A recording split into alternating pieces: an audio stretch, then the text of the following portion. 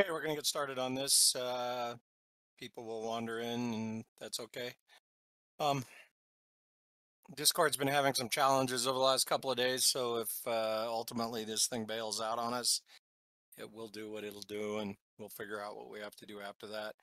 I don't know if today's session is being recorded by anybody. Um, if it is, it'll certainly get posted somewhere. If it isn't, well, that's just kind of the way it goes. Today we're going to talk about the roadmap and we're going to talk a little bit about the Xa-Miner uh, shipping status and what we're doing there and what the future looks like and so forth and uh, then open it up for questions.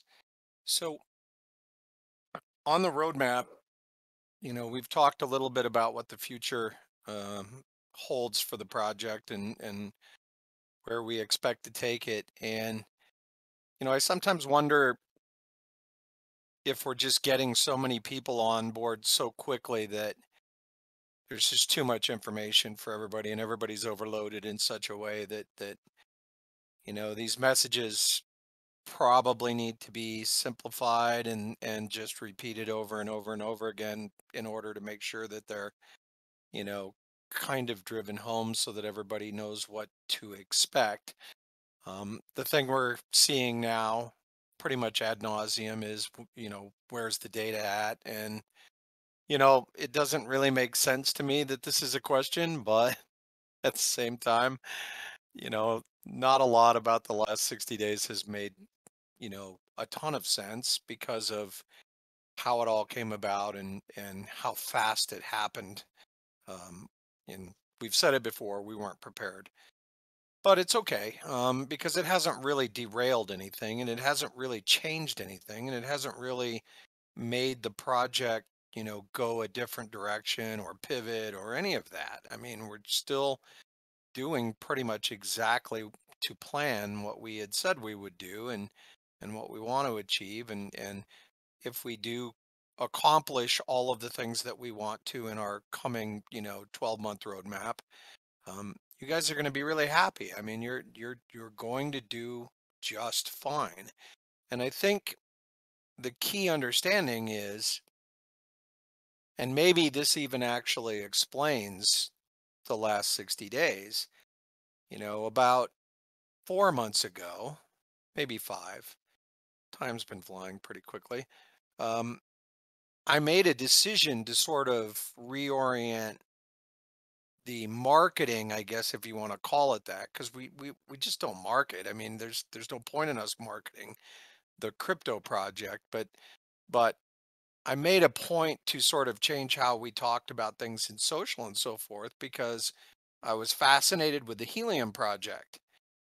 I've also been interested in the Chia project. I'm completely unfascinated by Chia, but that's neither here nor there. Helium is is interesting to me because you know they came into this thing not really from the crypto perspective.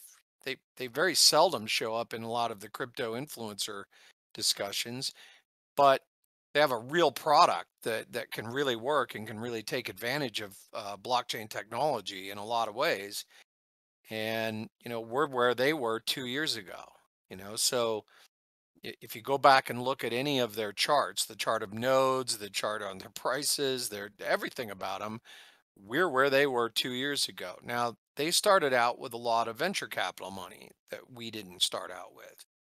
But I think it's okay. I think I think not having Silicon Valley driving the car or or having a board member in the seat helping to drive the car is probably going to result in a much better experience for everybody, us, uh, you, and our potential customers um, and and we'll get those people in the car when it's time but it's just not time yet. So when you ask for things like you know well how come i only have 41 megs of data and you know and where where's all the traffic and all this stuff? And it's like yeah i mean you know we've been saying it all along that's not where we are. Where we are is getting you people to build the most performant the most durable the most available uh, storage provider rigs that you possibly can. And if not having, you know, a terabyte of data today is a problem for you, you might actually make a decision that this isn't for you, and you might ultimately pull up stakes and go take it somewhere else. Completely fine. Totally fine. In fact, that might actually be our intention, right? I, I was very clear in the last couple of meetings that had we not stepped in and done a few things that I'm getting a lot of backlash for, by the way, and I'm fine with it, you know, not being polite, not being nice, not being all this other nonsense, um, you know, we'd have 10,000 providers right now. we'd have we'd have 10,000 petabytes on the network and so we'd be like insane and then it wouldn't even matter if we had a whole bunch of data coming on board because you still wouldn't get any because there just isn't enough you know data to go around to that many providers. It's still ballooned really quick quickly to 2600 and it's still growing pretty rapidly. I mean it's still going up 40 to 60 providers every single day. So you know as the data does start to come aboard it's it's still going to be a hard thing making sure that everybody you know all the the pots get watered and and we're going to do our best but at the same time it's really going to be a patience trying game over the next six months. But remember you're early. You're not you're not late right? You're not you're not in the middle. You're in the very beginning of this thing. So the roadmap as it goes. So the soft launch thing is underway. We actually are reaching out and, and bringing people in. We started out with, uh, you know, um, some people that are storage partner types. And these are people that ultimately will have the potential to exponentialize because they'll be able to bring on additional people that bring in data. And so um, one of the things that we found, so about two weeks ago, you know, we brought a couple of our community leaders in and said, okay, let's have you guys try this relayer, you know, configuration that we have because all of our relayer configuration testing had been done by people who had been pretty familiar and, and working along the way. And so they knew how to set it up and they knew how to make it work and so forth. And, you know, our community leaders didn't have a great experience. They didn't have a bad experience, but it wasn't really easy and it wasn't really something that, you know, I felt we were really ready to sort of drop and so that's why J18 turned into kind of a, you know, we sort of put a pause button on it. And we went back to the to the documentation and the, you know, configuration info in order to sort of lay out exactly what you need to do in order to set up a relayer correctly because this is really critical to our project and you know we just because of the the craziness of the last 60 days we just haven't done enough work on laying out how you actually provision one of these things and you know the hand holding that goes into setting it up and configuring it and, and making it work because it's a pretty robust piece of software and has a lot of different hooks in it and you know sets up a database instance on your machines and and you know does a bunch of things that are really you know not normal for people that maybe use something like AWS. So that also brings up the second piece of this soft launch part of the roadmap, and is that um, we also really started realizing about six weeks ago that relayer provisioning was probably not going to be a one size fits all. And in fact, it was going to be significant uh, sort of uh, range from top and bottom. And what I mean is, is that when we first kind of got the relayer going two years ago, and it came out of the box, it was a pretty simplistic operation in our view. And then as we started really grinding it together in software, it took on a life of its own, uh, built a whole bunch of different models and, and modules to go on it. Um, it, it now has things as, as robust as Kafka in it, for instance.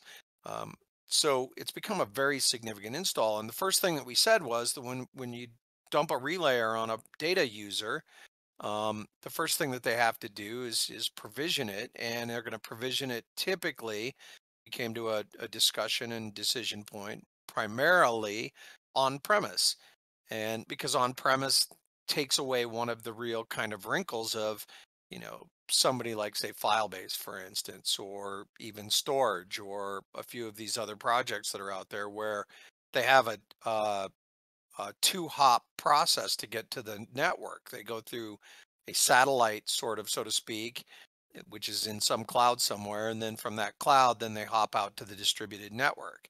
And if you do an on-premise relayer, what ends up happening is you send the data directly from your facility up to the network. This is the whole idea of, you know, being able to migrate to Web3 because you own your data. It's not held in our servers. It's not us holding it, you know, for you on the way up to the distributed data center. It's it's from you directly to the providers. Uh, so on-premise seemed like the thing to do, but then of course there's, you know, can be some pretty significant configuration depending on the size of your organization and how much data you plan to upload, what kind of apps you're going to use, and how you're going to ultimately put it together. So what ends up happening is we start out, we grind together a really basic, visual basic application for Windows people, and then Linux people just use a Docker. And you know what ended up happening is, is we realized that that app probably you know wasn't going to be good so let's just settle on docker all the way around but then you know we sort of dumped it off on some people to give a try and all of a sudden you know they fell in some holes and and there were some you know sort of wrinkles in provisioning it and it was like this is kind of this is gnarly let's go ahead and, and and smooth the road out a little bit for them so we did and now those people are able to go to some onboarding sites that we have built, uh, understand exactly what they need to do to provision these things, and then and then go forward.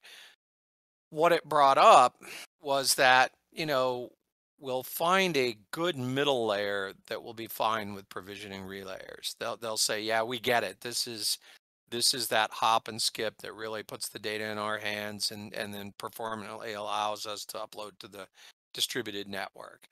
But you know, there's going to be smaller shops, mom and pops, and you know other kinds of uh, shops that are going to say, you know, this is too much. We don't have to do this on AWS. We don't have to do this on you know Google. Why why why do we have to do it here? And it's just it's called a distributed renter if you really want to give it a descriptive name and it's required. You need some kind of a device that has this ability to hold the data that's uploaded, to then identify all of the various providers out on the network that are going to be used for any data set that we decide to upload, and then ultimately, you know, shard that off in the erasure coding process into multiple shards. Uh, first of all, to gather it all up to make the right file size so that we're fully using, you know, the entire set and then ultimately encrypting it, or actually, I guess the encryption happens happens in front of it, but uh, do the end-to-end encryption and then send it all out to those individual providers. So that has to happen somewhere. And you know, our clients, our basic clients, the clients you're running for your provider, can actually turn on something called the renter and do this, but they can only do it in a thing where the machine that it's running on can access that data. You can't actually you know share that with anybody and it's not real easy to um, you know have multiple people use that information and access that information different uh, projects have different directionality about how they're going to address that but at the end of the day we made our decision that we wanted to do it in an s3 compatibility way and we wanted to build it on a big distributed renter model that we could provision out to these customers and let them move forward so to handle the mom and pops, the roadmap uh, will accommodate cloud-based uh, relayer provisioning, and that will end up going in our data center. We have that right now. What we don't have is we don't have a uh, you know a rapid growth model. So if you know our customer base grew at the same level as our provider base just grew, um, we might run into a bit of a problem. But we've kind of been through the fire over the last 60 days. So I think ultimately that spinning up a lot of cloud services is not going to be a problem. And of course, that's not our recommended configuration because that's pretty much totally centralized. I mean, you're counting on us to hold the data you know, screw it together, shard it, crypt it, send it off to the net. So, you know, you're essentially trusting us at all points there to handle the data and to to send it up there. So I'm sure there's going to be customers that are going to be fine with that because they'll like the price.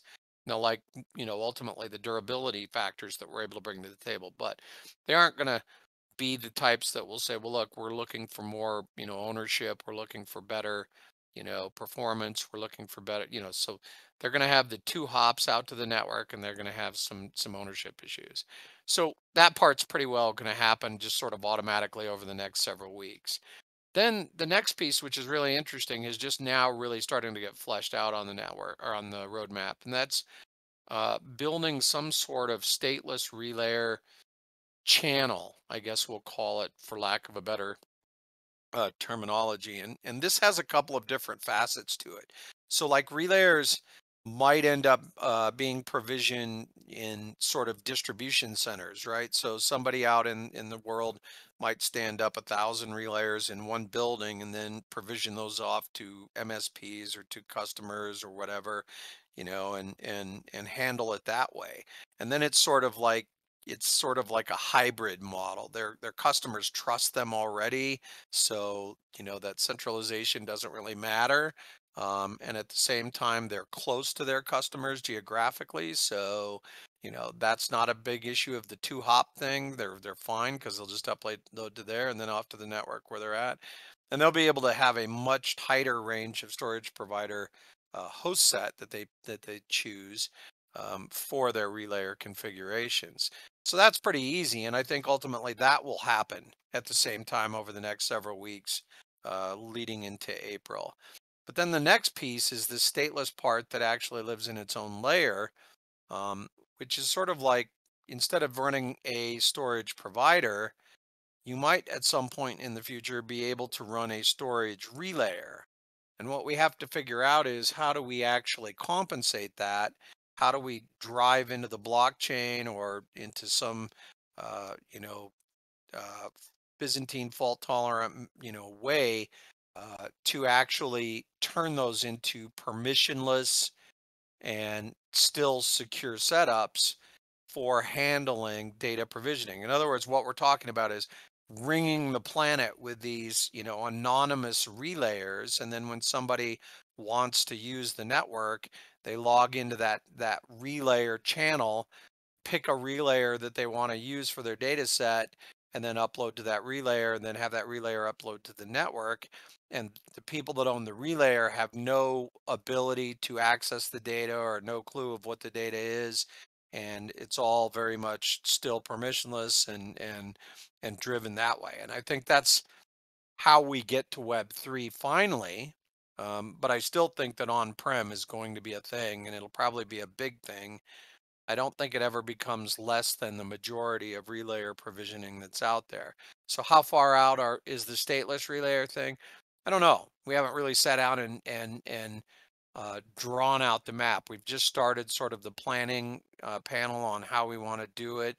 We've got a nice document put together on how it can start to work. Um, we know that some of the nice pieces of making it stateless is that we take some of the real challenges of putting a relayer in a local on-prem facility, uh, like how do you back up the metadata database on an ongoing and consistent, you know, way, so that it doesn't end up, um, you know, being a real IT admin's nightmare in terms of keeping that thing secure and stable and, and available. Um, so so so there's that. And I'm thinking, you know, it probably won't be the case that we will see anything from a stateless relayer until quarter three of this coming year. Um, probably quarter four, but quarter three would probably be the earliest that that would come down the path. All right, so let's talk a little bit about the pieces, and we've talked about some of these before, so I'm not going to go too deep into them, but um, the pieces that are going to be available into April and what April's going to look like on the roadmap and and and and where we expect to go. So I think right now we're really finally getting kind of cleaned up out of this whole sort of rapid growth thing. It, the growth has slowed. Um, it's still pretty big, but it's slowed down quite a bit from what it was. And, you know, ultimately we have a little bit of breathing room now to focus back on the product again. And that was really what we got derailed on in in in sort of December and in January and and now we're kind of back on that and so the the idea there is is that we have these three key things that need to get done. Two of them are really key uh, one of them is really sort of hard and the other one is just really going to be an ongoing thing that we'll be able to do some very basic stuff early. So the thing that we'll really, you know, be certain to accomplish before April uh, or or during April is the active repair process. And active repairs is that thing we talked about before of when you upload some data to our network. Uh, let's say you upload to 60 providers, um, and of those 60, some 40 pieces are parity pieces and 20 pieces are data pieces. That means that 40 providers out of the 60 could die and you would still be able to recover your data. That's where we get those giant durability factors that blow AWS out of the water. Um, you know, losing 40 of 60 of anything is almost, you know, nigh impossible unless you screw up and put them all in the same building, right? So what ends up happening is is that active repairs is really, you know, this thing where if some provider goes down out of that 60, it gets marked as bad and then put into sort of a math, you know, a simple math equation of how much of the uh, data set is now at risk. And so we, we've we've caused our durability factor to drop a little bit. So if, if it was 11 nines or 13 nines or some crazy number on on startup, um, you know, after losing one or two providers, now it's dropped a little bit. And maybe it's, you know, 10 nines or something like that. And there's a number in there that becomes unacceptable. And we haven't yet determined what that is in our case. We haven't even determined yet what is going to be the ideal erasure coding set, the number of providers that we spin data off to. Uh, but what happens with active repairs is after you hit that number, and let's say it's so out of 40 that can can fail, let's say we say, well, 25% of that is starting to get pretty risky. So if 10 providers go offline out of that data set, then we probably need to start considering rebuilding the data and uploading, you know, the failed shards to 10 new providers. And while there is some discussion about potentially being able to do this provider to provider, there's just a lot of reasons why it's not going to be the case. Hang on a second.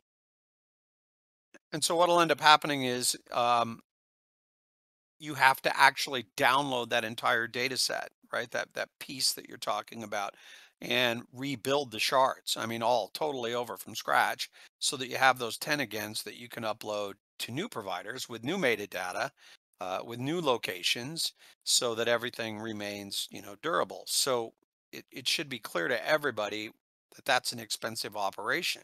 I mean, for one, we lost, so, you know, we still had to pay up to wherever we paid on the the former providers. We then had to pay to download the data. We had to reconstruct it. We then had to pay to re-upload it to new providers, you know, form contracts and send it out there and, you know, all of that sort of stuff. The 10% uh, SPF fees that get pulled out of there, the transactional fees, all that stuff. So it's a very expensive process. It's one we just don't want to hit very much. So we're going to have to find the the the the trade-off between how many providers we need to put out there versus you know keeping costs low on any up upload. And if you think about how that works it's like well uh, i mean if we just did straight replication you'd upload one copy. If we start doing something like 20 of 60 like i just described now all of a sudden what i've told you is we're we're adding 40 parity pieces right? So you know, we're tripling the amount of data that we're uploading to the network. And when we triple the amount of data, that has a cost. Cost is exactly triple, right? So, you know, that's not an inexpensive operation. If I'm telling, you know, customers, prospective customers, well, look, we blow Amazon's price out of the water, you know, we're going to charge you like six, eight bucks, something like that per terabyte. Well, all of a sudden, then we've got to answer for that question about well, yeah, but who pays for that 3x durability? And at the end of the day, the customer is going to have to pay for that. So suddenly six to eight bucks turns into $24 and you're like, well, wait a second, I can get Amazon for that. Why am I here with you? And and then you have to answer a whole bunch of questions. So what ends up happening is we're going to have to find a much more uh, tighter number of sharding, uh, erasure coded equation sharding um, in order to find the right mix, right? Find the right price update versus, you know, not losing out on that big durability. Because look, 20 and 60 is a crazy amount of durability that is just not required. You can drop it quite a bit lower than that and still end up in a pretty good place. If if your providers are good.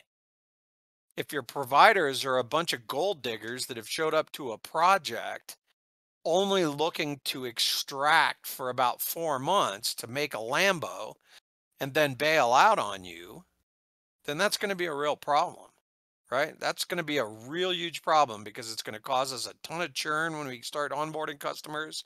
And ultimately, it's going to cost us a lot of money in terms of rebuilding and re-uploading and all of the stuff that we put out there.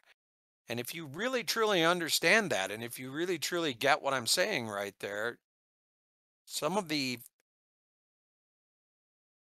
um, attitude, I guess, that we're giving you providers probably starts to look you know, warranted. And you probably start to understand what it is we're trying to accomplish right now with that attitude and why we're sort of like asking you to learn as much as you can about the project so that you do fully understand all this stuff. This is a marathon, not a sprint. And that's really the big thing. So active repairs, um, we expect to have that completed by the April uh, thing, and and that is a really a moonshot thing for us that really needs to to to be completed and completed well. Removals is the second thing that we expect to work on through there, although it's not necessarily a huge issue.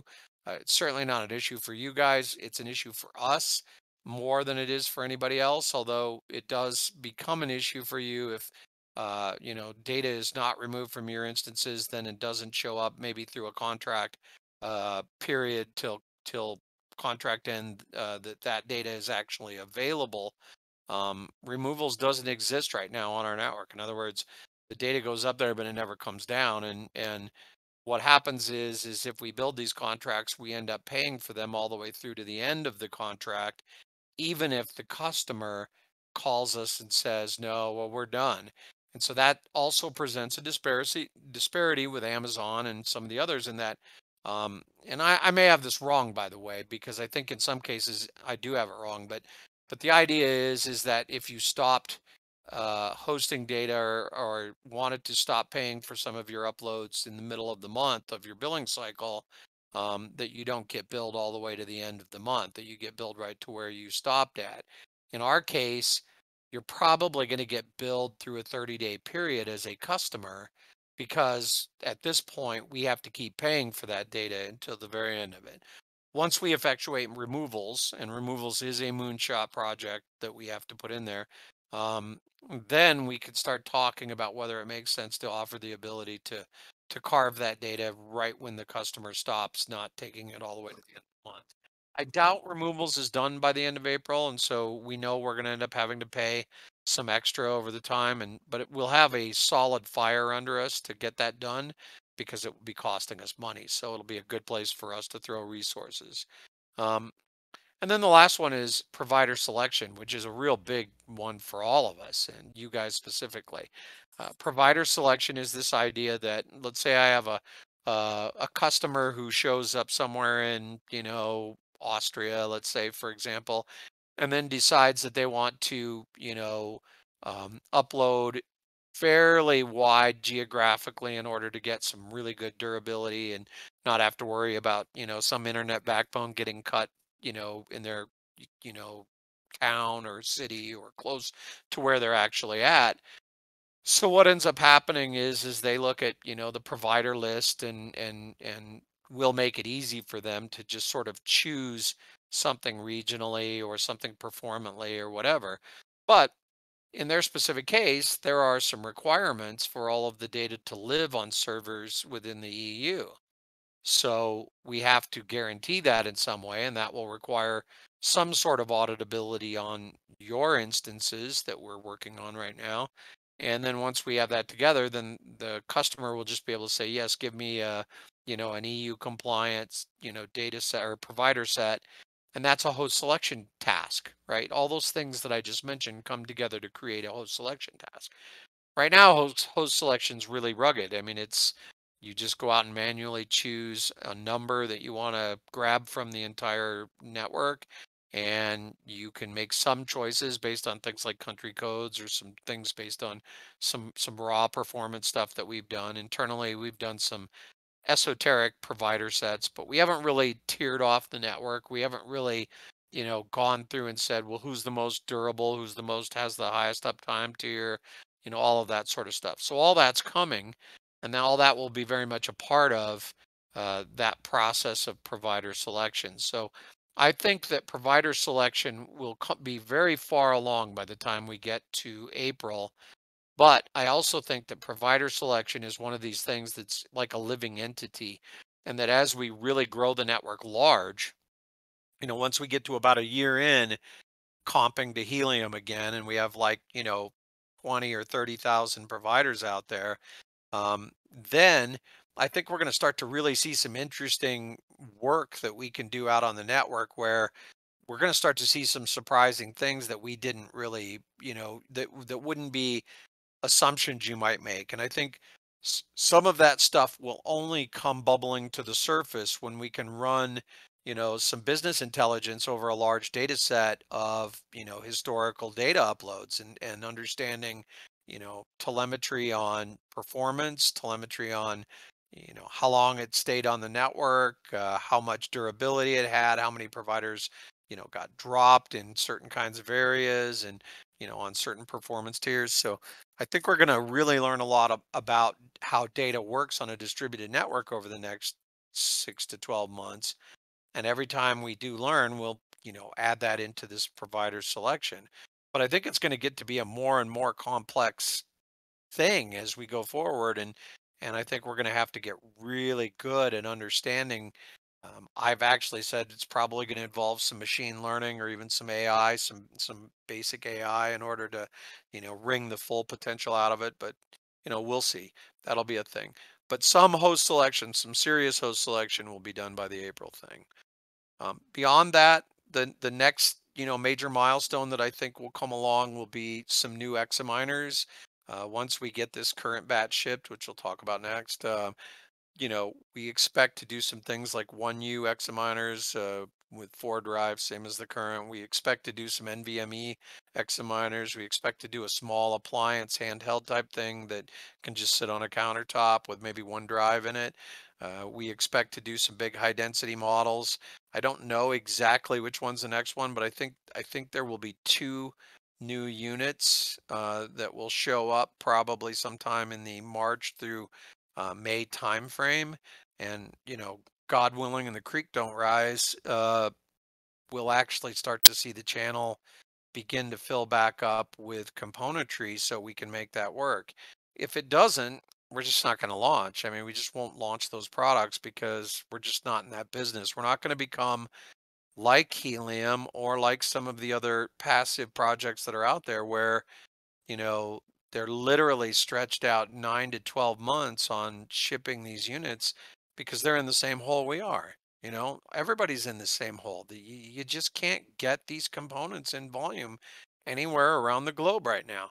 In fact, you know, motherboard manufacturers right now are telling, I mean, I literally walk, you know, to their door with a handful of money and say, look, I'm willing to pay you up front, spin this line up and let's go and they just say no. We're what, what we're doing right now is we're taking orders for quarter four of this year in 2024. Tell us your MOQ and we'll get that built for you. And it's like, what? You know, so that that's that's the nature of this beast we're faced with right now, and it's it's not clean. But I'm hoping that as we get through uh, 2022 and COVID ending the way it is, that this really does start to turn the corner for us and we do start to see this open up a little more because once it does open up it'll turn into a waterfall. So that's on the roadmap it's kind of a you know questionable roadmap item but that's that's there. Um, we expect there to be a, a, an scp corp capital raise uh, somewhere between may and let's call it august or something along those lines somewhere in the summer time frame late spring summer time frame um, we're not quite sure yet exactly what that means, whether it's going to be an institutional round or whether it's going to be something totally driven by the SPFs. Um, but we expect to do another fairly healthy capital raise sometime uh, in that summary time frame. And that will be kind of the cap raise that really starts to propel us forward. That'll be a very large, uh, you know, growth phase for us where we start to onboard a lot of new hires and really you know, begin to move this thing forward in a big way. At the same time, um, we will also start to really look hard at this idea of an SPF crowd sale. So it it it it was something that was positioned as a last year thing, but the way things sort of, you know, panned out just kind of put us into a place that we said, well, you know, we don't really have to do that right now. Let's hold off from doing it. And maybe it's, you know, better we don't. You know, a lot of people, including myself, thought that there was going to be a year end crescendo to crypto, and then we go into, you know, uh, maybe not a full bear this year, but but something a little off. Um, and that didn't happen. It just didn't happen. And instead, what we got was sort of an oscillation. And so now, you know, it's quite likely that we're not going to get that deep bear or anything like that. So think we have plenty of time and we can really do this thing on our timetable. And right now, our timetable looks like summer. Um, SPFs, in case you don't remember or you don't know or you never heard, um, are a security token. So I can describe them, I can tell you about them, what they do. Um, I am in no way encouraging you to be interested in them. If you become interested in them, don't ask me about them because I can't tell you anything more about when they're going to be for sale, how much they're going to cost, any of that kind of stuff. I just I can't legally. The SEC won't let me, but I can tell you what they are. What they are is there's a 200 million population of them. The corporation owns 75% of them. The angel investors that bought into the corporation were gifted uh, about 25% of them and hold them right now. There is no um, lockup on them. So if they wanted to, they could turn around and sell them right now, but none of them, nobody will sell you any right now. So at least not for numbers that make any sense. They'll sell you for nonsense numbers, but um, because they know that these things are are important, but they're going to become important, you know, a year, two years from now. Because what they do is they draw 10% off every network transaction. So uh, when you know the corporation puts up money to rent storage from you folks, and then you put up collateral, 10% is taken off each side. And so 10% out of your collateral and 10% out of the, the corporation. So you're all freaking out right now. I was like, wait, wait, so we lose 10% of our collateral? Well, no, not really. The corporation actually pays for that, right? When it gets actually deducted and pulled off and sent to the SPF population, it's all paid for by the renter, the co- the corporation. So you get your full collateral back. It just uses the collateral number to actually calculate a 10% on that side of the equation. Um, so what ends up happening is, is the overall transaction related any contract, it isn't quite 20%. It's a little less than 20%, but it's a pretty healthy number. And at the end of the day, those units are go and they get paid in SCP, by the way. So those units are going to be drawing down a ton of SCP when we're working at scale. And you know, right now they're kind of a interesting little device that people know about, but when we get to that place that they're actually there, I sort of suspect they'll become one of the more important parts of the project. In fact, we already know that at some point down the road, we sort of expect them to become the corporation financing vehicle when we start to move things to a Web3 posture. So uh, a crowd sale for those is something we've contemplated. There is one legal way that we know of to do it without doing an IEO, ICO, IDO. It would be doing a Reg CF uh, crowd sale, which is Regulation Crowd Fund, which is a USA based thing. Um, not saying you can't buy them if you're a foreigner, but uh, it does allow you to buy very small amounts uh, as just an ordinary human. And these are securities, so that's not normally the case. Normally, you have to be an accredited investor, or we have to run some kind of a prospectus and do all kinds of other hurdles to jump over to put it into a Reg D kind of a thing. So Reg CF is a way we can raise up to $5 million on them. It's a potential way to do it. And so we probably will look at that kind of a crowd sale in that time frame. And those are the big initiatives that really flesh out the roadmap you know, as it exists today. There are some other, you know, things, but at the end of the day, everything right now is about onboarding customers, getting customers to using the network, getting the data on the network, and then just growing that business as we go forward. So um, I'll take questions at the end, and I'm going to jump immediately into the whole Xa-Miner logistics thing right now and get through that quickly.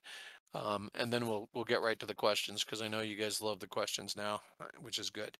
Um, so I know you're frustrated if you're an Xa-Miner buyer, and I get it. And at the end of the day, it's not like we're not trying to get the units to you. We are.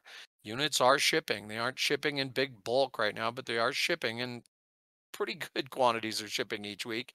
Uh, but that's going to change here, you know, over the next, you know, five to seven days. The California integrator is now up to speed. They've built out a, a demo unit for us to show us, you know, uh, their build on it, and and they're, you know, they're right there with it. They're they're missing a couple of uh, small components that need to come in that we're waiting to come out of Hong Kong, and as soon as those show up, uh, I think they're going to really start cranking it up. And and and as I've said in another forum, uh, what ends up happening there is this is how their their founder has assured me. He said, "Look, I can hire and spin up 24/7 if I have to." So, you know, they understand the need, they understand the deal. And the I, the good part is is they're in California and not, you know, Shenzhen, so Chinese New Year isn't going to impact them at all, even though they are Asian. So the situation is is they have a whole bunch of components waiting and they are going to start spinning up here in the next couple of days and ultimately i expect our production to at least triple and maybe even a little bit more than that and we'll start to see bigger numbers start to head out there so where are we right now well some of you are probably going to sigh and cry and some of you say well that's pretty cool um, we just shipped order today um, let me pull up the thing here 1033. So we're right in the thousands right now.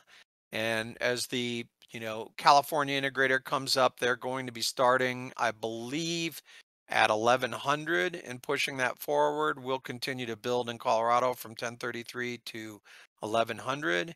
And then once we get past ours, then we'll, you know, leapfrog them and pick up some in there you know, beyond where they're at. And so there's going to become this weird little situation where somebody's going to post on in the forum that they got their orders shipped and then somebody else is going to say, well, my orders before that, how come I didn't get shipped? And it's going to because become because one of the facilities shipped some units before the other one was able to complete theirs. And it's just part and parcel of this whole process. And there's just not really a way to uh, get around that. It won't be dramatic. It'll only be like a few numbers difference because we're essentially preparing all the shipping labels and invoicing and everything is coming out of the Colorado facility. So that's, you know, that's kind of the controller on that.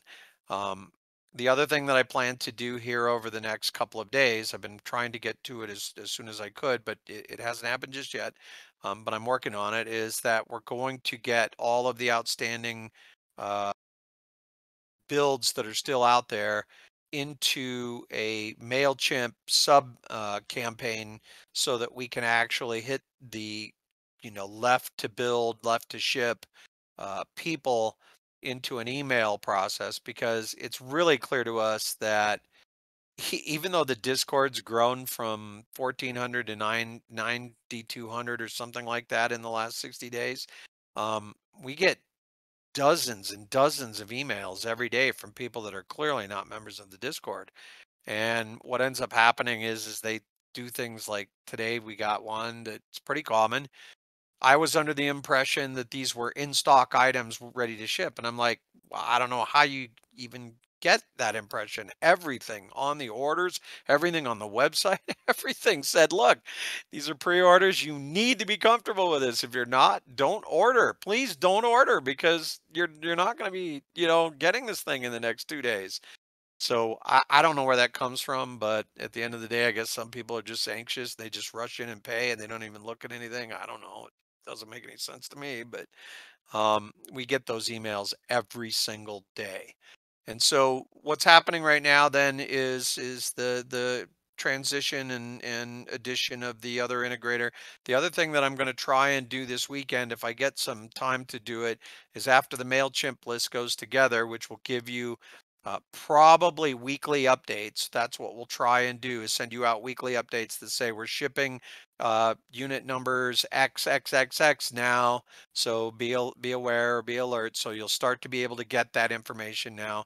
Uh, but perhaps we'll even be able to work some of that information directly into the WooCommerce, uh, you know, order tracking site so that you can see exactly how far out you are on your order. I know it's taken us a while to get there, but that's literally not been our priority. Our priority has been building units and shipping them to you, not getting status for order number 2700 because frankly that isn't really worth our time. You know, our time is is spent right now building the units and getting them out the door. And by the way, I just want to say something really stupid and then I'm going to take questions. I'm going to say it because it bothers me, so I know it must bother some of you. When you see me ship posting in the Discord, it's like I'm not it's not like I'm not working right then, okay?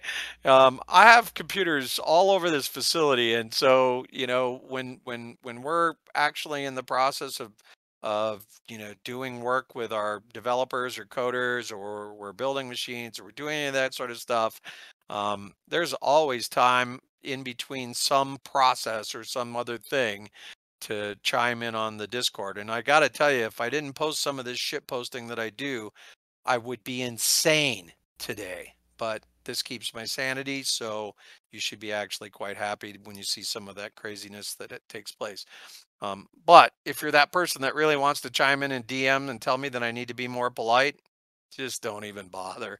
I'm telling you, just don't even bother with that because it just doesn't mean anything to us at this point.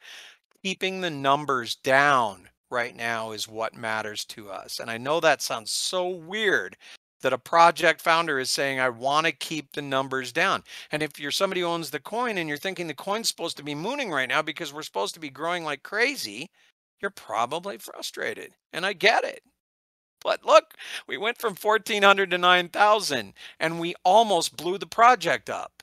So it's not like we could just go to 38,000 members and, and people on the network and somehow onboard and inculcate all of you folks and, and somehow make it work. So um, look, this is the deal. We're trying to keep it where we are because the data that comes on in the next two or three months is not going to be giant. It's going to be decent, but not going to be huge. And we want you to make money now, not make money, you know, nine months from now. Or what happens if, you know, we, we onboarded, you know, 38,000 providers and then the data just never really kept up with the number of provider growth you know, some people would ultimately finally turn around and start to revolt and say, look, we're leaving because, look, you can never make money on this project because there's never enough data for the number of providers that are out there. And by the way, continuous time and service is going to be an enormous incentive that we will put in place to ensure that you, you, the early people, the folks that are here right now, that we're going to look back on in a year and say, these are the people that deserve it because these are the people that stuck with us when things got tough, when we were really fighting through a, a challenging period. All right, you're not the 300 that were here two years ago, but you're still early and you're still going to be those people that we really believe in. People that show up then and want to throw up a $40 watch on the network, you know, those aren't going to be the people that are going to get all the, the data at that time. It's you guys. All right, let me see who's got their hand up, if anybody. If there's no nobody with their hand up, we might get out of here early today. So let's just look through the room. Let me see how many numbers we actually got today. 266, not bad. So really, no questions today, huh? Okay, well that that, that works for me. Um, if you want, I can talk a little bit about April 23rd. Um, I think I will actually. I didn't really have it in the uh, um, agenda, but I'll go ahead and put it out there. Um, so we have two channels right now, um, one private, one public, uh, having to do with Las Vegas, Nevada. Um, I actually just saw some troubling information because I was going to have some real, you know, fun stuff to say about this, but now it's looking like it might have changed. We'll, we'll see. Um, so we've we've purchased our booth at NAB in Las Vegas, which is a big M&E uh, show, and we expect that we're going to be able to tackle that industry pretty well in some ways for archival. So um, it's a great place for us to actually launch this product and to to really bring it to the public. Uh, CES only had about 60% of the audience that they normally get this year due to COVID. Uh, but at 60% is actually a pretty healthy number if you really think about it. That was in uh, just a few weeks ago. And so at the end of the day, um, April, probably with COVID ending the way it is, probably gets a little bit higher percentage for NAB. Typical attendance at NAB is 90 to 100,000 people. So, you know, you're got to figure somewhere between 60 and 75,000 probably expected, maybe even more. Who knows? I'm thinking when people really finally start to understand that COVID is actually ending, that we're going to have a pretty big explosion this year because everybody's been in jail for two years and they want to get out and they want to do the things that they haven't done. And I think we're finally kind of getting to that place where it does start to make some sense. So, so NAB um, is this event. We're going to launch the product formally. We actually thought we had a pretty cool thing in that uh, the West Hall, which is a brand new convention center hall in Las Vegas, um, is where we are, and it's the cloud kind of you know delivery uh, hall. And so what ends up happening there is I'm looking for a booth, I'm looking for a booth, I'm looking, and then all of a sudden a booth opens up because somebody canceled and i look right next to it and there's amazon's aws booth which is this gigantic booth. It's uh um what size is it here? Let me look at it. Yeah it doesn't show the size to me on the on the the non-exhibitor view but it's huge. I mean it's it's it's a city and some of these big booths out there. And so we all of a sudden the space opened up right next to it. I mean, literally right next, right across the aisle from the AWS booth. And so we've been totally thrilled about that because we'll get so much traffic. Unfortunately, I logged in today and looked at it, and in the in the view I'm looking at uh, right now, it says on hold. But I think that's just the public view. I think on the exhibitor view, it's still AWS, and I think AWS is still planning on taking that that booth um, but they just haven't paid for it yet. And so, um, if it all pans out the way it looks like, we're going to have a really great opportunity because we'll be able to stack up a bunch of Xa-Miners and we'll have you know video and and you know people from our community there you know re- repping the booth and you know telling stories and and ultimately the traffic flow that we're going to get is going to be ideal uh, for people that want to onboard data up to the network and onto your you know units. So we're going to blow it out there and we really want to have you folks show up. So um, keep an eye on that vegas channel. We'll start to announce the dates exactly. We'll we'll talk about some things that are available. Uh, what we expect to do is have a big party uh, for you a big community party with lots of giveaways and lots of uh, you know real fun sort of stuff where we celebrate our three and a half years in existence and and we definitely want as many of you that can make it uh, to be part of that since you're running these storage providers even though they're passive income type devices you ought to be able to write it off as a business expense in, in many jurisdictions. So you know if you if you're thinking about this kind of thing maybe you know consider coming out and visiting us uh, a couple days uh, maybe spend a week in vegas if you want to do the whole experience but uh, starts on april 23rd and runs through something like the 27th and I think the party will be probably on the 23rd. So um, mark your calendars for that. All right, looks like we got a question here, so we'll go ahead and take it, and then we'll start to wrap up.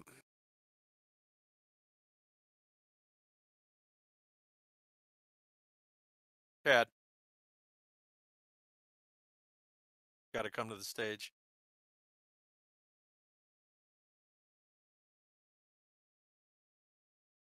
Hey there. Excited about the booth. I have a quick question about uh, the provider creating their own miner on a PC desktop. I intend to buy the the Xa-Miner when it comes out. I'm on the wait list right now, but uh, during that waiting period, I'd like to get some experience with the network and everything. So I've built one on my own personal PC. But what incentives would I have to buy more Xa-Miners instead of adding more storage to my personal computer? Yeah. You know, this is kind of an interesting question because ultimately, um, part of the stuff that I'm going to say, and I'm just going to say it up front, is that it, it, it's not set in stone. It's going to change all the the you know all the time. It's just going to continue to evolve. But what I'm am going to say is this: we're different from the other projects in that in, in some of these other passive projects, you literally can't build your own miners. They've licensed the software to other resellers and builders and so forth, but they you can't build your own, you know, miners. You can build certain components or whatever.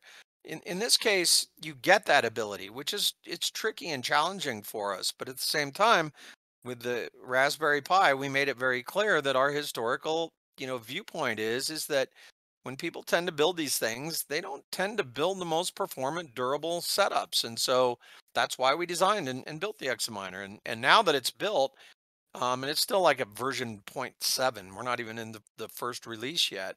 Um, we, we now understand what we have and what we can offer there. So um, it's just getting started. I mean, it's pretty good right now. It can do a lot in terms of being very unintended, very much you don't have to worry about it. It'll take care of itself in, in many ways. It's, we've exposed some bugs in SPD um, along the way because of that that we're we're working to resolve. But we know a lot of the road mapping things that we need to do like remote access, the ability to tie multiple units together and be able to, to see them in mass. Accounting is really a critical issue. It's it's literally a, a major issue that we have to get screwed into there. And you know, look, we've said this and we're not going to be shy about it and it, it'll make some people frustrated and angry, but it is just the case. Um, we believe in these things and we love these things and we think that these things are going to build a better network than you are. And I know that some people here are going to argue strenuously against that. Some of you build some pretty, you know, damn fine configurations and have some strong data center background and you'll build really performant and really available and really durable, you know, configurations. That's great. Um, but at the end of the day, we're always going to be a step ahead of you. right? Doesn't matter what you do, we're always going to be a step ahead of you because number one, we're going to build into the provider all of the capabilities and features that the network demands. But then we're also the other side of the equation, right? We're the we're the customer in many cases. We're we're the uh, customer's representative essentially in terms of they pay us in order to get this relayer provisioning, and then the relayer goes out and feeds the network. Well, we're the ones that are designing the relayer and we're the ones that are designing the host selection, the provider selection tools. So, you know, I, said it before and I I have not stated this anywhere in in if you run away from here with scissors and, you know, go out on Twitter and say something odd like Faust said this, you know, it, it, this is on you, but I'm I'm just going to tell you this. We could make it a situation where Xa-Miners have to figure very prominently in every single provider set. We might come to a place where we say, look, you're a relayer customer and you can purchase this in two different configurations. You can get the configuration that uses a healthy mix and match of anything that's out there that's performant, or you can choose to do an all relayers uh, or an all Xa-Miner version network. And if you choose the all Xa-Miner version network, you're actually helping the corporation. So we might give you a price discount on that right? We can do all kinds of things financially incentive to show our love for the Xa-Miners. So if you're somebody that bought an Xa-Miner and if you think it makes sense right now to con- contact us on email and say we want a refund because we think this thing, you know, was supposed to ship like 6 weeks ago. Well, first of all, there are no refunds on it, just like there are no refunds on any of these passive miners that are back ordered right now. But at the same time, you're making a huge mistake right? You're making a huge mistake because not only are you going to ROI quickly on the bonuses we put out there, the rebates, we're never going to stop making this thing a really ultra profitable enterprise for you. And if you think we are, well, then just be glad you bought. And if you didn't get your chance to buy because it went to spam or you didn't know or whatever, well, you'll get your chance and it'll come up uh, coming down the road as soon as the supply chains open up for us. It's not like we don't want to build them for you. We do. And we do want to make them profitable for you. So that's the reason you will always, you will always have a leading edge device with us. Yes, people will make DIYs better. They will add third party tools to them to make them better. But at the end of the day, we always have a trump card to play over the DIYs, and we will play it over the next several years. Respirate. Come to the stage. There you go. Hello, hello. Um, hi, I just had a question in regards to um, pigging, piggybacking off of the previous question. Um, I know I've read around um, on some subreddit threads and uh, on YouTube and things um, that there are some concerns about uh, DIY configurations not being of quality. Uh, for instance, um, you had mentioned, you know, there's some concerns with people creating DIY Raspberry Pis. And on the website, there's some official guidance on um, if you wanted to create your own DIY server for this project. But it doesn't, it, it just kind of provides like minimum requirements. Um, in your opinion, for those of us looking to get into this project now, since Xa-Miners are really hard to come by, um, what kind of equipment would you consider to be uh, either higher quality um, than like Raspberry Pi, or like what would you consider to be of standard? Is it going to be something like a Synology NAS, or would do you think like a, a, a mini PC would be effective with uh, a network attached storage connected to it? Uh, could you could you clarify that for me? I think right now one of the things that we've seen pretty clearly is is that you know when you start talking about NAS devices like Synology and QNAP and some of those things, we've talked about wanting to actually write some sort of an application to run on top of them. Right now, it's all Dockerized, and you know for most you know people that would be in, into it at that level, that hasn't been much of a problem. But for it to turn into any real kind of an appliance configuration, really needs to become a uh, an icon right on the Synology and QNAP desktops, and and even have the ability uh, potentially down the road of of working through the S3 compatibility channel, and possibly even banging on one of those public relayers for things like backing up your stuff and and and and doing some of the stuff that you already find on there for other cloud providers on those devices. So I, I think those are always going to be, you know, something that we tend to recommend or favor or like. Um, I think ultimately that uh, anything newer over anything older, see these networks when they came together, the whole sort of idea was you can find a bunch of spare junk laying around your shop and put it all together and, and it'll be a passive income earning device. But look, just even a few years ago, hard drives failed a lot more than they do today. And so today, you know, if you're willing to spend a few extra dollars on enterprise grade hard drives, which is sort of the, the biggest component, um, you're going to end up having a lot more chance of not running into that situation where you lose a drive and lose a whole bunch of collateral. And where that's really becoming an issue is look, look when when when these networks sort of came together back in whatever, I guess, you know, SIA started 2015, something along those lines. You know, the average hard drive back then was probably one to four terabytes. You know, four was a big, big drive at that point. And now, you know, we're starting to get up to 18, 20 terabytes in a drive. You lose a drive, that's a lot of collateral right? You're going to lose a lot if you end up losing a drive.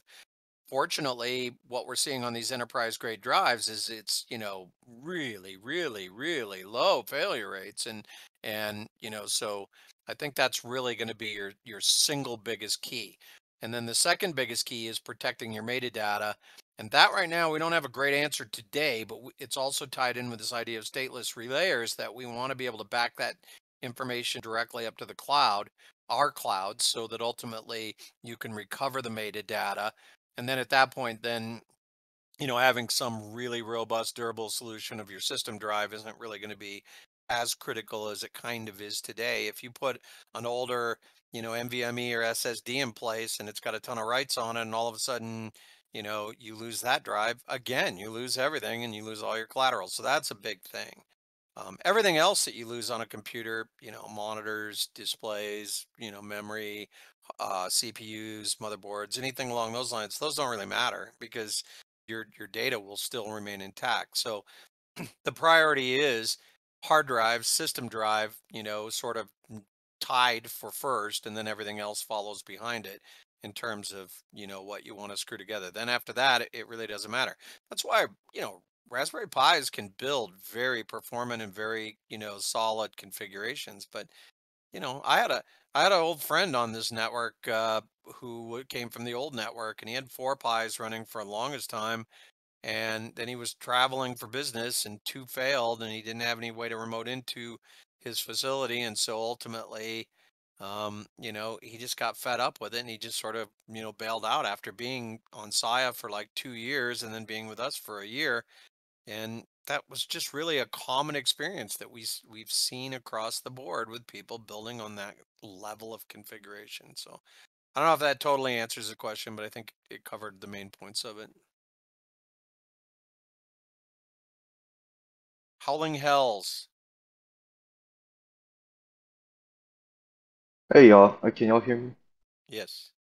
Hey, thank you. Um, hey, so I had a question. I was talking in the chat as well. Um, so for the longevity incentive, I remember that's somewhere along the lines of that. Um, if we're so right now, I'm running a QNAP, um, and eventually, I think the long-term plan for me is I'm going to transition to the Xa-Miner whenever I actually get one or able to get one. Um, does that longevity just start all the way back to year one with that new Xa-Miner, or or how do we? Is there a way to kind of transfer that tenure from now all the way to that new Xa-Miner I get? Yeah, I, th- I think we're going to find a way to transfer tenure, definitely, because, you know, what happens there is people are often, you know, upgrading and, and changing out components to, to be more durable, to provide more capability. Um, and sometimes that actually involves putting a, a unit into passive mode and spinning it down and starting up another one. And you should definitely not be, you know, penalized for that, even though you are getting a new provider ID. So, you know, I think the answer to that is one of the things that we're working on or, or we have with the Xa-Miners is account based uh, capability. And I think ultimately for incentives, we'll put all the providers, DIY, and uh, you know regular Xa-Miner customers into this account uh, sort of regime where you'll want to essentially provide an email address and, and log in and, and do an account. And then with your account, then we can actually tie you together with your various provider instances. So if you have five units or one and then it turns to another, we'll be able to provide that tenure capability. And then the interesting part about that is, is that that also allows us, you know, to have this ability to tie a bunch of units together. And potentially there's the ability for us to have an incentive that we haven't talked much about, but it's just, you know, something like raw capacity that you're bringing to the table in terms of you know number of units that you have scattered around uh, the network or you know sort of something like that. And we're, we're never going to get back into incentivizing unused capacity but you know having five configurations on separate subnets is definitely helpful to us in some ways and if you have them scattered around even further than that um, you know where we can see geographically they're how they're scattered um, there's some real benefits there. But yes, I think we'll do tenure. Yes. Okay, awesome. And and I had one more question. Um, so I'm a relatively new build, um, and and the one question I have is there's obviously been some discussion on uh, taking the eventual, I guess, taking away of, of DI, moving away, let's say that transitioning from DIY to more of just Xa-Miners, and and understandably. Um, now, since I am a new build, I, I'm kind of curious. You know, if I had a range from low, medium, high timeline, um, do you know when that that might actually happen, uh, or or is this kind of just you know completely up in the air and and hope it's not short term for me? Well, I think the first the first response that I have is is that you said understandably there's a transition because I don't think most of the community would would agree with that understandably that but I, I will I will backfill that a little bit you know why are Xa-Miners important to us um, they're important to us because they're a funding mechanism for the corporation and if you know, we can have that funding mechanism to actually, you know, develop the software and to develop the tools and develop the sales and marketing, you know, recipes that we need to go out and sell the data, then it's going to benefit you. It's not like we're, you know, banking a whole bunch of coin and then, you know, just rewarding Right, right, ourselves with it. We're building, we're using it. So, and and remember, yeah. So so the the the deal is is that it, it isn't quite the way you said it though i mean we, we will transition uh, in terms of bringing more and more of these models to the table and making them so robust and so valuable and useful and interesting and helpful that people will just keep wanting them I, I i'm i'm convinced of that but look there's open source software out there and there's enterprising third party individuals that are going to be writing tools to interface it. I don't think DIY is ever going anywhere. And I, In fact, I think it's going to ultimately come to a place where it'll be a race between which has more.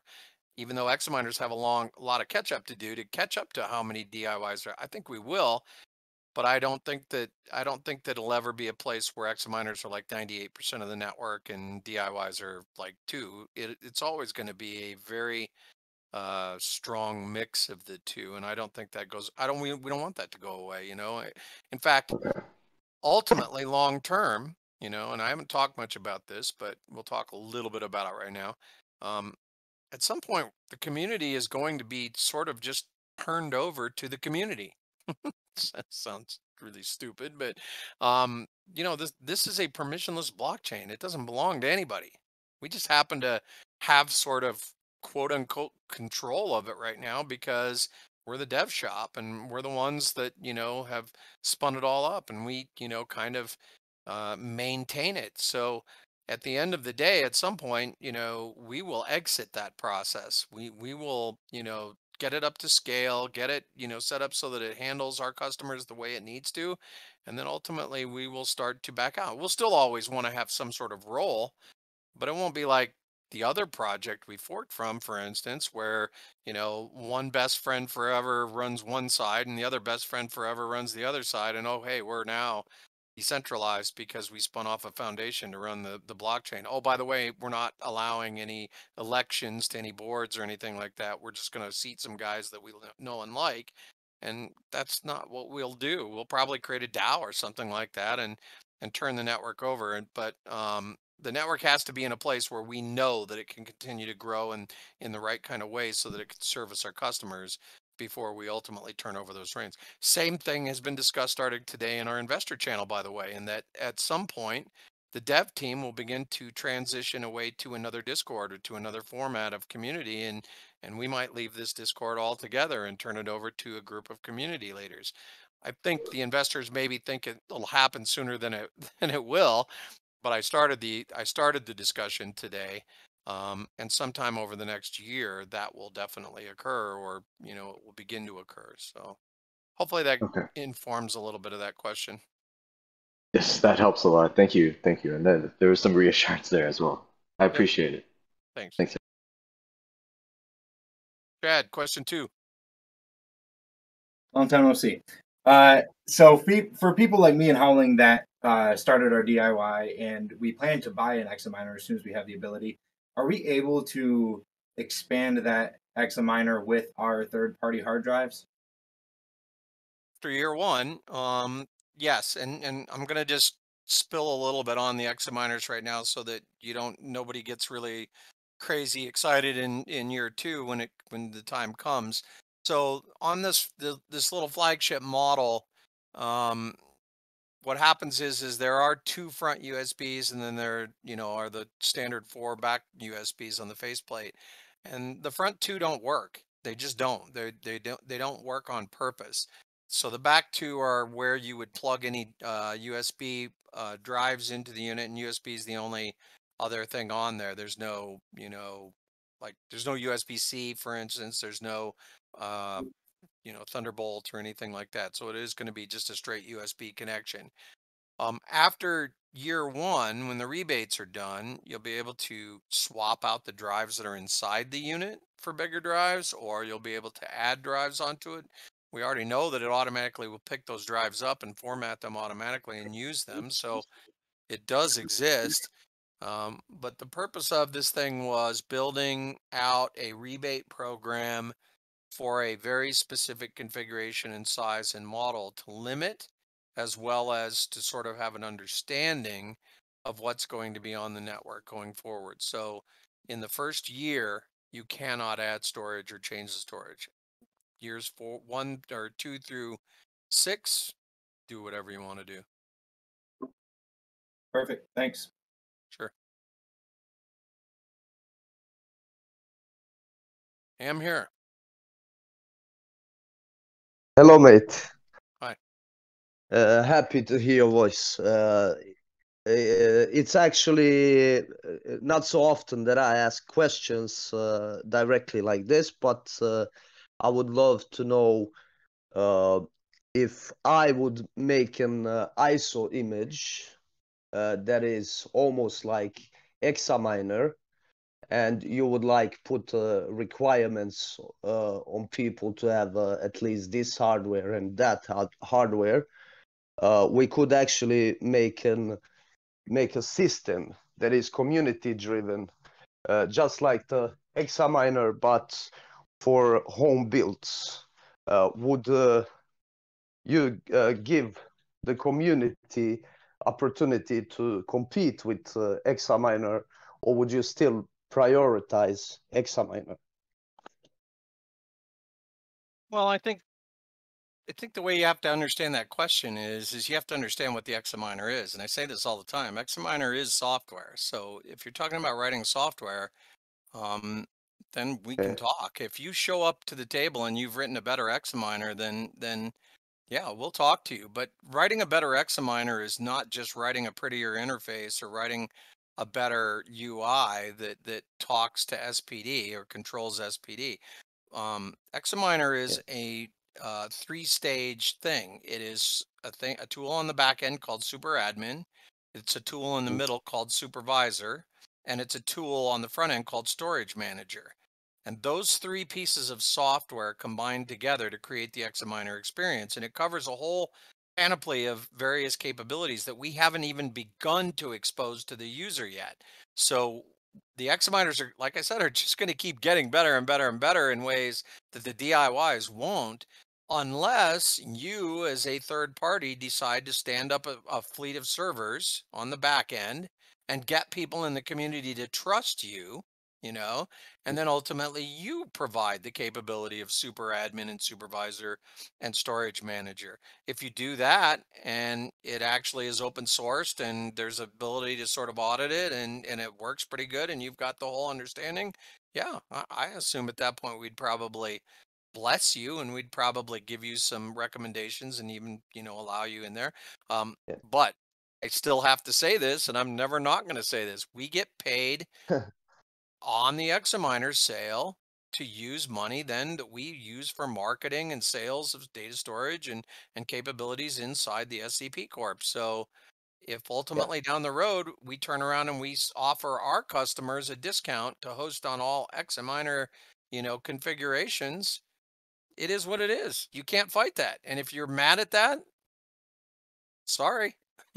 you know, it just is what not, it. Not mad, not mad. Uh, I, I, just wanted to know your opinion and uh, your uh, view uh, on uh, on this uh, because I would love to help the community. you know, not everybody has money to buy Xa-Miner, and not everybody maybe want to invest that kind of amount. but I suggest you should have some donation pool and some uh, uh, uh, other other things that you can collect uh, for marketing. Uh, uh, I would happily donate and do whatever I can to help this community and this project grow. And I'm a marketing expert in profession here in Sweden. So if you uh, want to include me, uh, I would have uh, be happy to to help you with anything that has with marketing to do. Well, there's some things there, and definitely we'll we'll keep in contact with you. The uh, the one thing I would say, as far as community participation in terms of donations, there are some things that are not corporate related that are community related, but that the corporation can actually provide some some guidance and, and actually needs to provide guidance on. Um, so like for instance, uh, exchange listing. So one of the the next big mm-hmm. milestones, and notice that it was not in the roadmap. And the reason it's not in the roadmap is because it's really not on our timetable. It's not something that we can say, well, we expect to get a big exchange in quarter two. Um, it's just not in our it's not our thing. What what, what has to happen is we've got to grow the volume on the exchanges we're on. But once we grow the volume on the exchanges we're on and get the kind of volume we need, then the applications that we submit to Bittrex and Kraken and some of those, you know, low high uh, exchanges, the the yeah. you know number four through number twelve or something like that exchanges.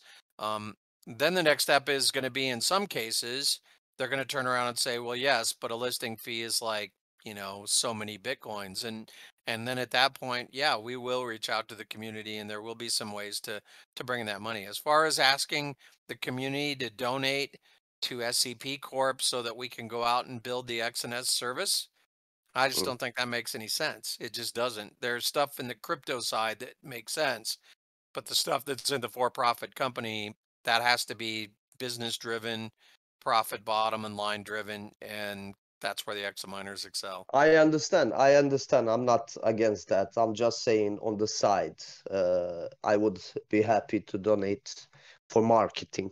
Well, like this Vegas thing is a good example. There there might be some opportunities for you there in this Vegas thing to help us out with getting the word out on Vegas and, and the product launch and so forth, because the community is really going to have a big role in this thing. We hope, you know, I I think we're going to get a number, a, a pretty large number of people that will show up out there.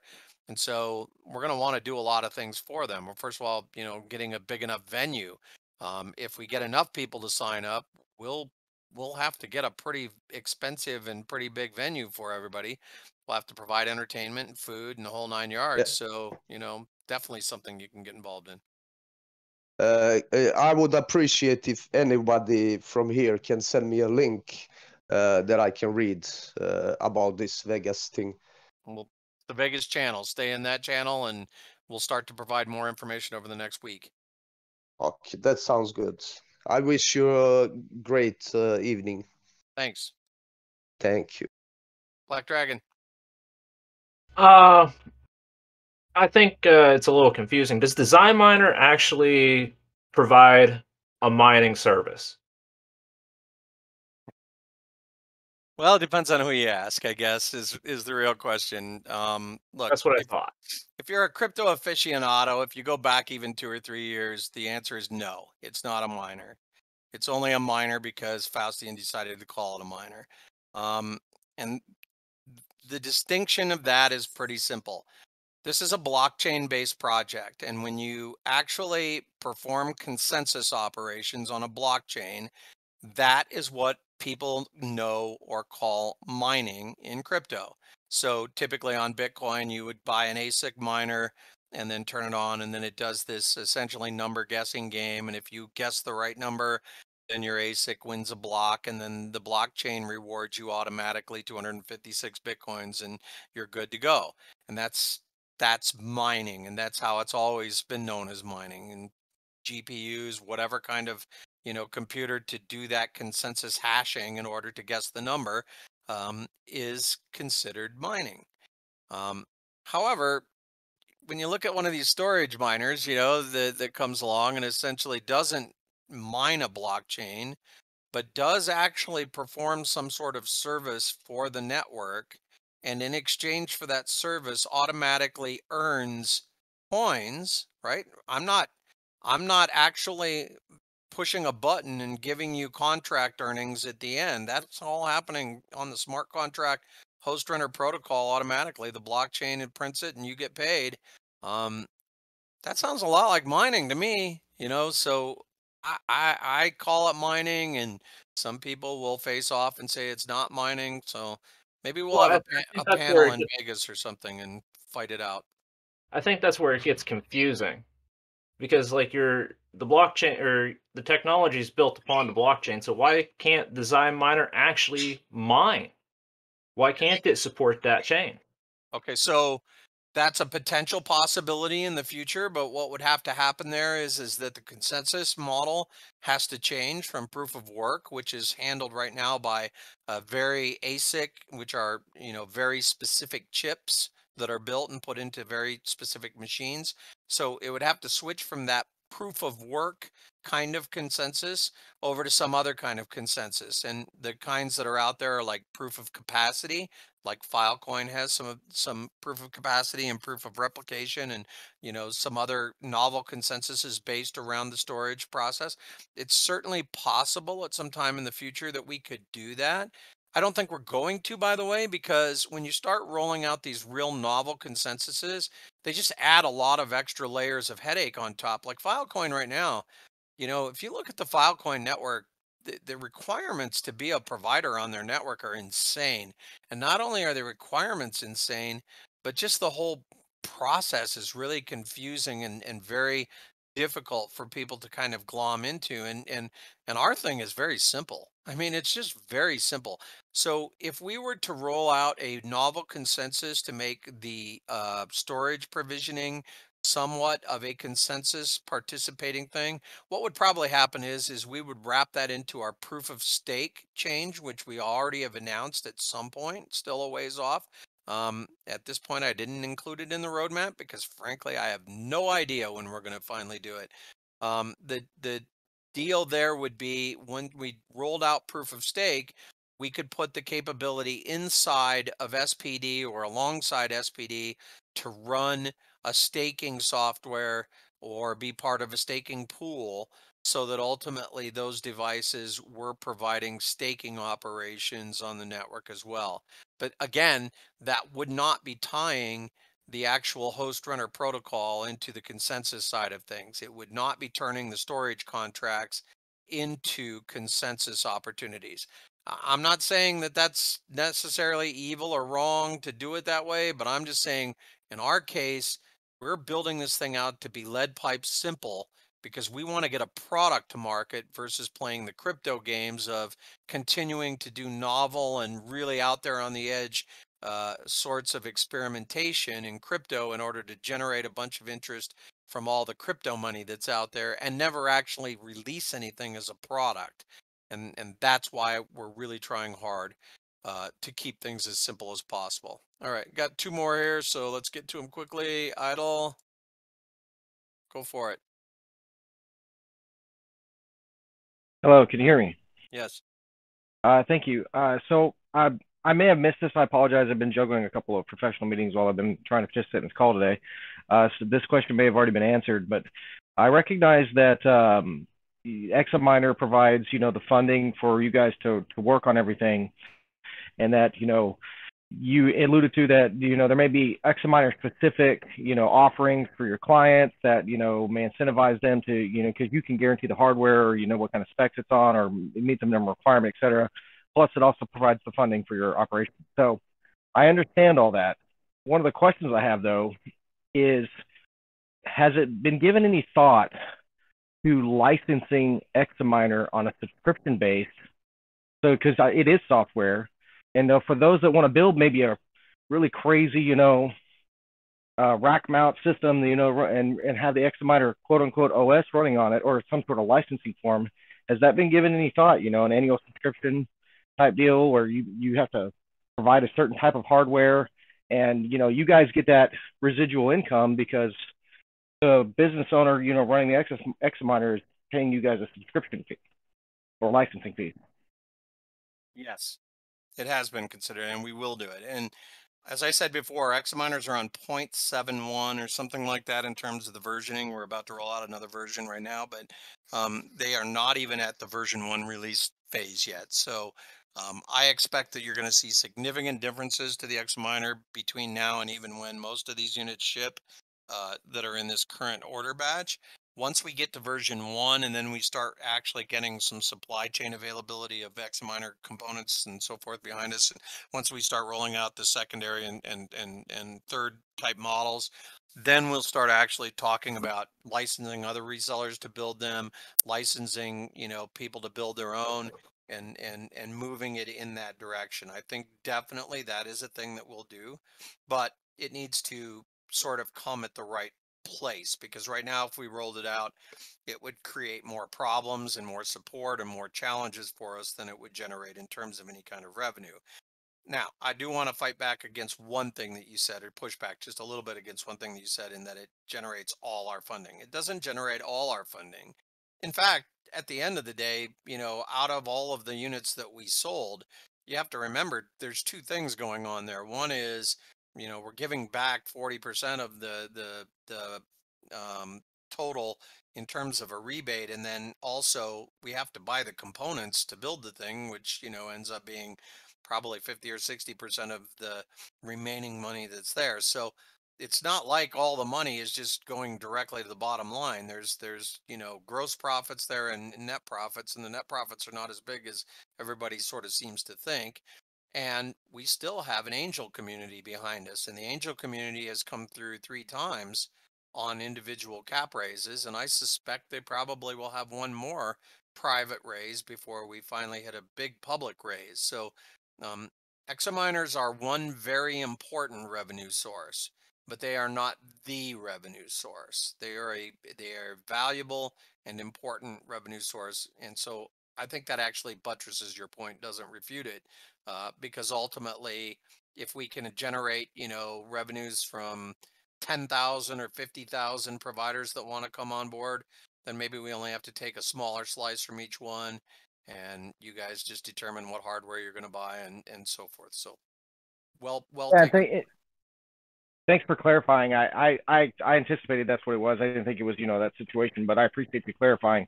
And I, I agree. I, it could definitely be um, an excellent source of, you know, continued development from that uh, subscription model. At least I, I would think it would be. So I'm excited to hear about that. I'm anxious because I'll definitely be somebody that will using a subscription with a DIY miner if I can't get my hands on, you know, an appropriate level Xa-Miner that I would like to build for myself. So, um, but thanks again. thanks sg Hey, thanks for picking my hands. Um, first of all, appreciate all all everything, everything you're doing with this um project. I'm really excited to get my miner.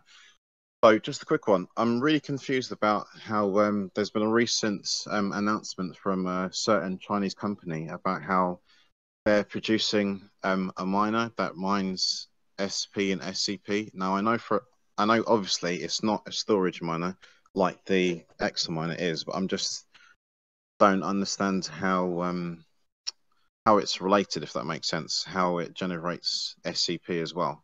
Does that make sense? I hope it does. Also, I'd appreciate if you can um just briefly summarize what you said about the shipping and the incentives because I wasn't able to catch the beginning part of the meeting. I'm not sure if this has been recorded. say, say that last question again because you cut out on me just briefly there Sorry. Um, I'd appreciate if you could just at the end, when you're done, just quickly summarize what you said about shipping and what you said about incentives because I wasn't able to catch the beginning of the meeting and. I'm not sure Yeah, if this it. has been I recorded. okay Cheers, bro. Yeah, Thank you. So, so look on the on the this this new consensus miner. Um, anybody that hasn't been here with us for very long doesn't know the story, and I'm certainly not going to revisit it now because we're already 90 minutes into the meeting. But um, we formed this project on the back of consensus mining. What consensus mining in this project means is proof of work, and it's like um, when people talk about Bitcoin miners or they talk about these the, the big mining rigs that are out there that use up a ton of electricity and put off a lot of heat and noise, that's what they're talking about. And so this miner that's just been announced has a couple of interesting features. It first of all is a consensus miner uh, to mine, you know, proof of work on our blockchain, and then it's also a pretty efficient miner. So, and they've recognized us at least to a minor degree versus you know, formerly a lot of these guys would not even identify that their unit could mine our, our blockchain. The big difference, the one that matters, is that when you mine storage on our network, you are not mining new coins, right? That's the whole thing. The coins are already in existence. What happens is is that they are automatically, you know, locked into contracts and then once the contracts successfully conclude, are automatically shipped off to the storage provider's wallet upon a successful storage proof, and then a blockchain print to to to you know memorialize that into the blockchain forever. Um, those are not new coins; those are coins that have already been quote unquote mined. So I guess if you really wanted to, to say what's the difference, these are reminers, right? The storage miners are reminers, and that you're you're pulling out coins that have already been mined, um, and then the people that are mining the blockchain are actually pulling out brand new coins that have not yet been produced. Uh, the supply emission of our project is uh, a declining inflation, where initially what happened was when the project first started, uh, it had a 300 SCP reward for every block. There's a block printed every 10 minutes. So about 144 blocks a day or about 54,000 blocks per year that were uh, are getting printed. And in the beginning, there were 300 coins in the very first block. And then now today, th- three years later, each block is worth 116 coins. And as the the the inflation schedule winds down over the next couple of years, that will drop to a really very low number, like 10 coins or something like that in two or three years. So those are ASIC miners that mine proof of work and they produce new coins. The storage miners, the DIYs, the Xa-Miners, and everything that pulls uh, coins out via storage contracts, those are just taking the coins that these miners have already mined and actually putting in them into contracts and then pulling them out of contracts. So your question is, where do they come from? And well, we have to buy them, right? So when the customer gives us a hundred dollar bill, we got to go out and buy a hundred dollars worth of SCP. Who do you think we're buying it from? We're buying it from miners, right? We're buying it from people uh, who have bought the coin from miners. We're buying it on the open market. So we're not producing the coin either. We're buying the coin and then we're plugging it into these contracts and rewarding you with it. So, um, good question. Not terribly confusing, but uh, a little confusing. As far as the uh, shipping schedule, I won't go. I'm not going to go all the way through it again. I'm just going to tell you that we are preparing some new information channels to show you where we are on orders. Orders are progressing slowly. We've got a new integrator coming online this week. They've started the, the builds. We should see the order starting to crank up. The last uh, order we shipped today was 1033. So um, that's where we are on it. I didn't really say anything new about incentives. The only thing I mentioned was that continuous time and service is still going to probably turn out to be the most important one. Okay, I'm going to take one more uh, question from Omens, and that'll be the last one because we went way over today. Go ahead, Omens.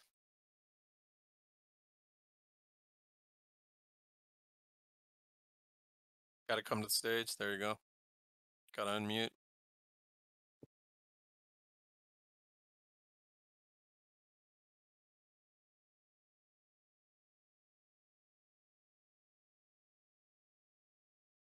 Are you there?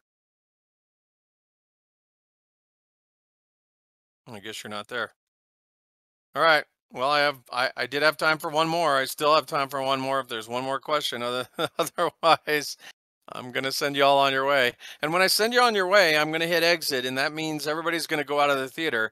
And then for some reason, eight of you are going to go back into the theater. So I don't understand that, but it'll be fun watching you show back up. But there you go. Thanks for showing up today, everybody. I really appreciate it. These uh, meetings are, are are really important, and I think they're going to keep coming, becoming more and more important. Um, great questions. I hope they're helpful to you, and uh, we'll see you next week.